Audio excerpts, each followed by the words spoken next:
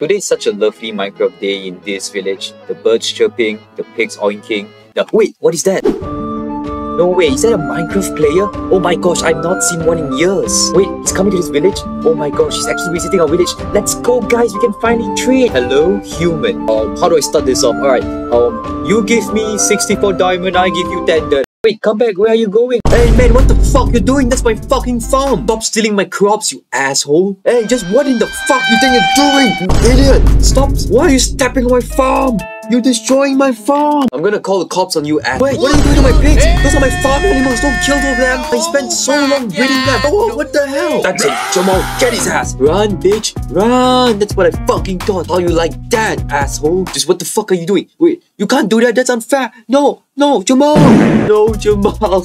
You fucking psychopath! Nah, fuck this shit, I'm getting out of here. Finally safe and sound, oh my What's up, fuckers?